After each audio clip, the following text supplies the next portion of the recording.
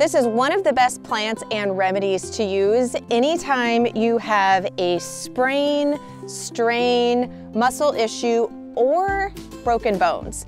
And this is comfrey. So comfrey is a amazing plant. It can be grown for a lot of different reasons. We're gonna be using this medicinally today, but I actually have comfrey growing underneath my fruit trees here as part as a, of a fruit tree guild. They actually can have a great benefit as a companion plant to other plants. So we'll link to that video if you wanna learn more about using this with your plants and creating a fruit tree guild. But today I actually need to make a medicinal we're going to be doing a comfrey poultice. And that is because my daughter hurt her ankle um, pretty bad actually just two nights ago. So I'm going to be harvesting the flower and the stems and we're going to be taking about the top third of the plant here. I'll go ahead and take that one. And the great thing is this will just continue to spread. Hey, it's not for you. You didn't get hurt. The great thing is this will send up a lot more stalks with flowers and leaves and produce more all throughout the season. So we're gonna go ahead and take this. I'm gonna grab just a couple more leaves off of the other plant that I have there. And then we're gonna head in the house and I'm gonna show you how to make an amazing comfrey poultice and where, why, and when you wanna use this.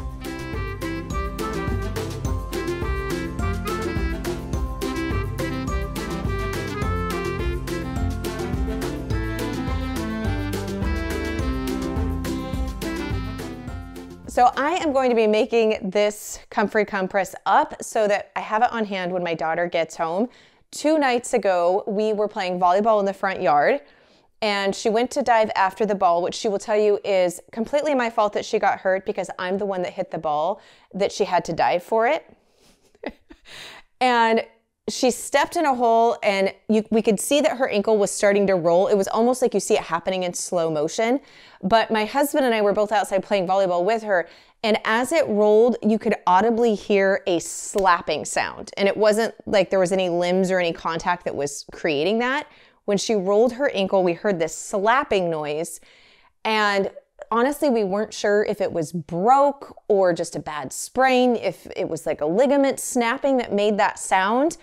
So got her inside the house and immediately put ice to it. And I actually ran out and grabbed some of the comfrey leaves and just did a really quick mashup and put it on with the ice pack so that we could get immediate treatment assessed if she could move it, you know, all of those first aid things that you do when you're not sure if it's been broke or it's sprained but we couldn't tell the following morning. I still wasn't sure if maybe there was a fracture or not. So I ended up taking her in and we did get x-rays and thankfully it's not broken. It's just a really, really good sprain, if there is such a thing. It's a very bad sprain. How do we, how do we go about that? So today's her first day back at school. We have it wrapped up. She went to school on crutches.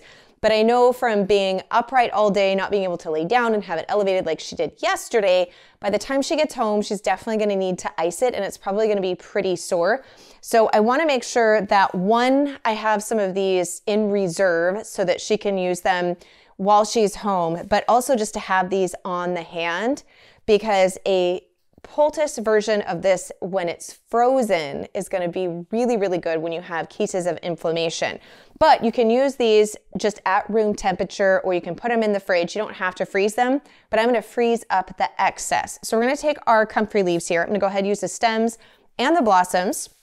Now, comfrey is also known as bone knit is another common name that you'll hear for comfrey.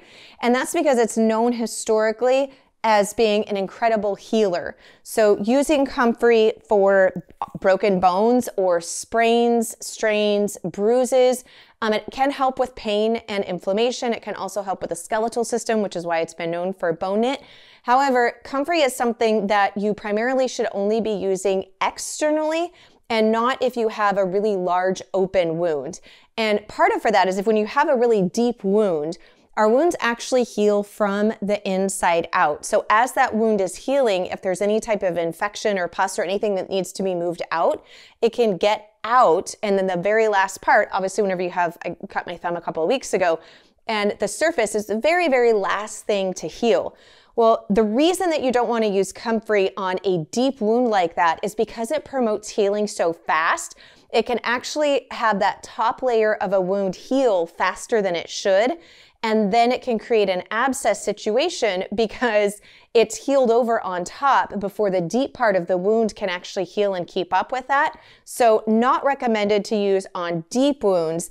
And you also don't want to use it internally. Now, historically, you'll see different uses of where comfrey may have been used internally, but we know now that it actually has a alkaloid. It's one of the PA alkaloids, and that in high doses can cause liver damage. Now, Tylenol or acetaminophen can also cause liver damage. And in fact, causes lots of liver damage all throughout the US. So it's just knowing how to appropriately use something. Um, you don't see nearly as much issues with comfrey as we do with Tylenol, but proceed with caution and don't be using it internally. So I'm gonna put this into the blender here.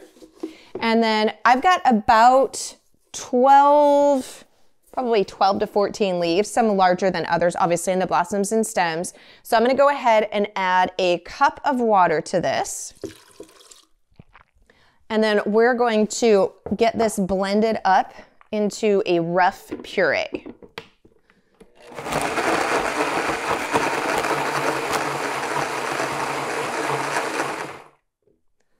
Now this is still gonna be pretty runny. So this is where we're gonna add in a binder. You can add, if you have something like bentonite clay, um, or arrowroot powder, different things like that, you can add that in. You can also just use regular flour.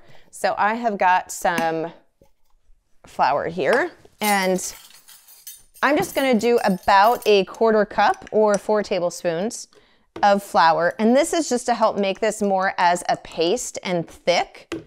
So this is just a thickening agent.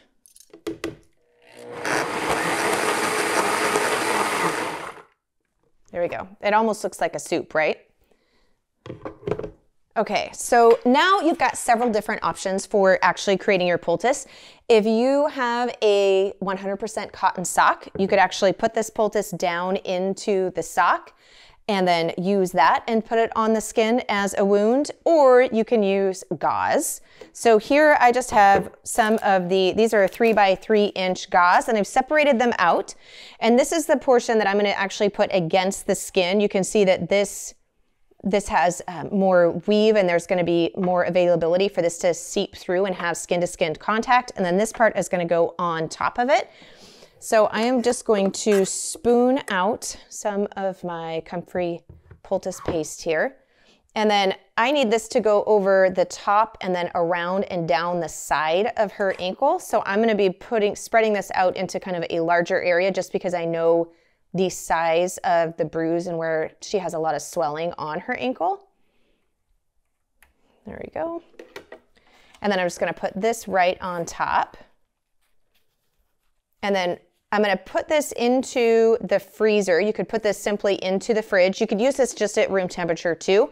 Of course, when you combine the comfrey with it being cold, especially if you have a lot of inflammation and pain, it's gonna do double duty to help reduce that inflammation as well as the pain.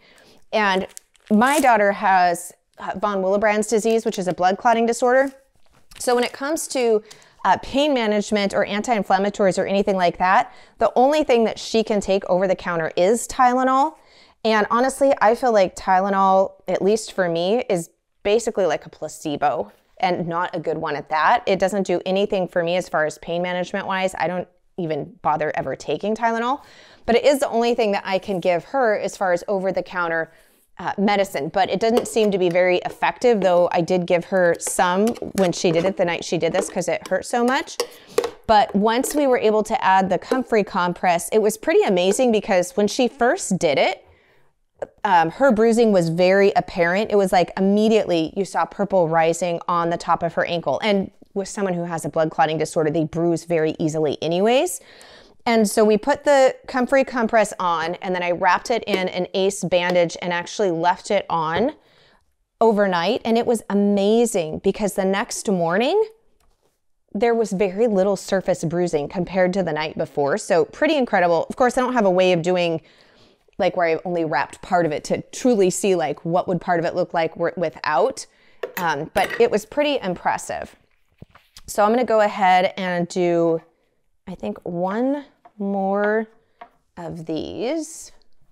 Now, you could use something like cheesecloth or muslin if you didn't have the little sterile bandages here, you didn't want to use these, and just wash them out, rinse them out in between uses. As I said, you could definitely use the sock.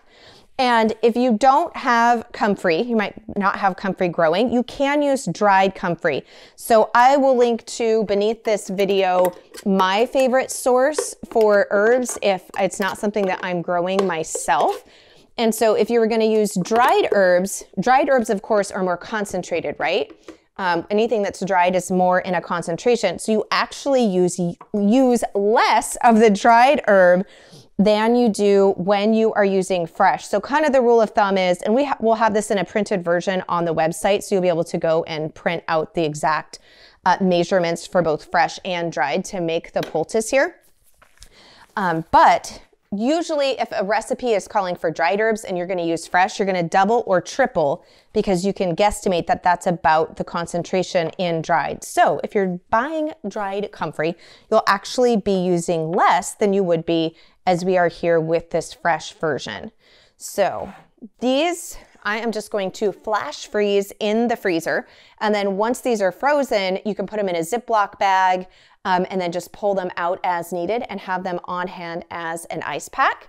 Or you could put them in the fridge. If you're gonna put them in the fridge without being uh, flash frozen so they don't stick together, you're gonna wanna put uh, like wax paper between them um, if you want to stack them on top of each other and just keep them in the fridge. But of course, in the freezer is going to keep them the longest. And then this last one, I'm going to go ahead and put into, it is clean, I promise, but it is a well-used sock. Um, we're going to go ahead and put into the sock. And this one I'm just going to throw into the fridge so that she can use it as soon as she gets home from school. So to use the Comfrey poultice here. It's something you're gonna wanna apply for a minimum of at least 10 minutes. And then ideally being able to leave it on for several hours and then applying it about three times a day. And then you can graduate that down obviously as it begins to heal. And because I'm gonna get a little bit of moisture of this out, you can see there where that's starting to seep through which is just fine. And I'm gonna kind of even that out so I have a larger surface area. And then I'm just gonna stick this in here just so it doesn't drip. And this will go directly into the fridge so that she can use this as soon as she gets home. Apply the poultice just like you would an ice pack. Have a towel nearby because as this starts to thaw, you will get the comfrey juices and we want them directly on the skin, on the area that has been injured, but you don't want them to also leak all over any type of bedding. Also, make sure to go to melissaknorris.com forward slash mini herb if you want to join our summer free herb series. So this is just one of the ways to use comfrey. You can also make a compress with it or infuse it into oil to make a topical salve or ointment. And if you want to have more herbal remedies on hand, I actually have one of my favorite wound healing salve recipes on the website. We'll link to that below. You can go and check that out. And if you're interested in learning how to use more herbs medicinally, I'm going to be doing a deep dive class on that this fall. So keep your eye out on the channel or if you're on my newsletter, I will send more information about that out as we get a little bit closer.